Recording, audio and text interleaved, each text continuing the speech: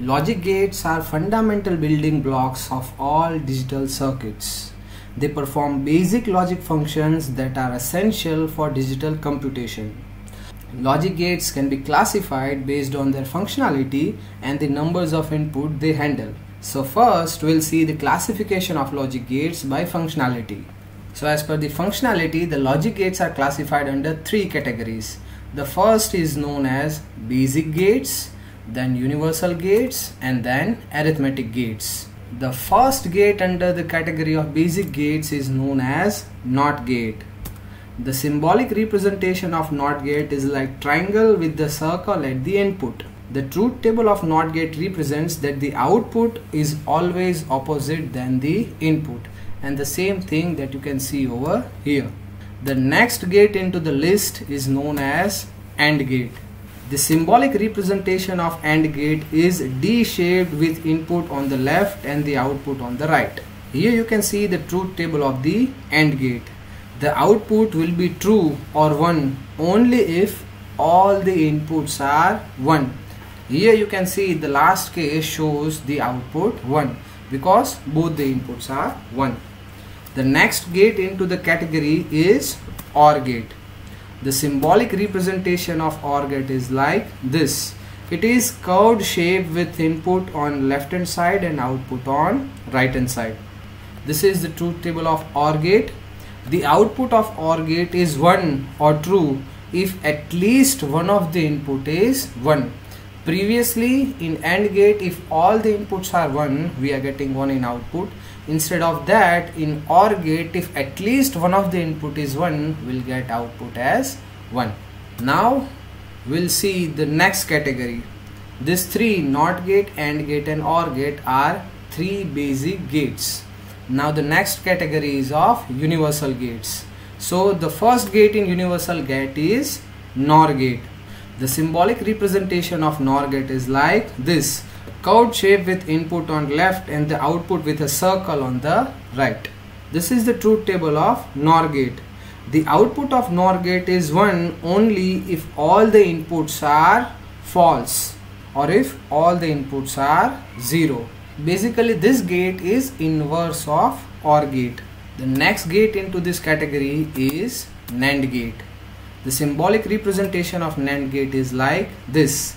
It is a D shaped with input on the left hand side and output with a circle on right. Here you can see the truth table of NAND gate. The output is true if at least one of the input is false. Or you can say that it is the inverted output of AND gate. The next gate into the category is from the arithmetic gates. NOR gate and NAND gate are the two types of universal gate. The arithmetic gates are also known as the derived logic gates. Why it is known as derived logic gates? Because these gates are derived from the combinations of universal gate or the combinations of basic gates. So that is why it is known as derived gates. In this category, the first gate is XOR gate. The symbolic representation of XOR gate is like this curved shape with an additional curved line at the left hand side where we are providing inputs. This is the truth table of XOR gate. The output of XOR gate is 1 if the inputs are different. This is very easy to understand. When the two inputs are different, the output will be 1. So that's how simply we can remember the truth table of XOR gate. The next gate into this category is known as XNOR gate. The symbolic representation of XNOR gate is similar to XOR gate, just additional circle onto the right hand side or output side. This is the truth table of XNOR gate. The output of XNOR gate is 1 if inputs are same. Previously in XOR gate, if both the inputs are different, then we are getting 1. In XNOR gate, it is the inverse of XOR gate. So when both the inputs are same, we'll get 1 as output. So this was the classification of gates as per their functionality. Now we'll see the classification of gates based on the inputs and outputs.